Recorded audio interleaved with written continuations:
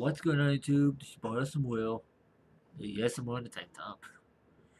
First off, second of all, I want to thank everyone who did support me over the past few days. I know I've been, I've been streaming a lot. It's because my kind of a job has been taken over.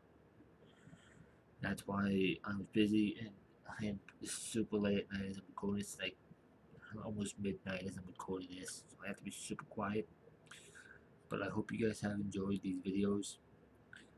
I was not able to take a picture of where I was at for what I was working at today because I didn't really anything to take a picture with.